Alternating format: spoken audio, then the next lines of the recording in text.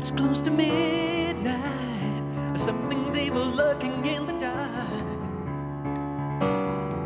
Another moonlight.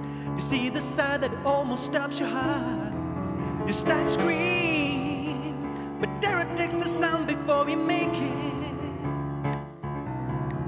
You start to freeze, but horror looks you right between your eyes. You're paralyzed, cause this is thriller,